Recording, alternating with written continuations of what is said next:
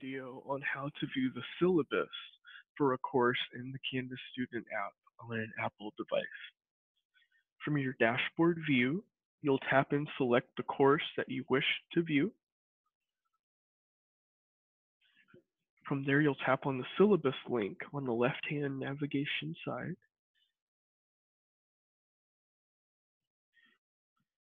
You'll then tap on the syllabus link to view the syllabus description. And this is how you view the syllabus in the Canvas Student app on an Apple device.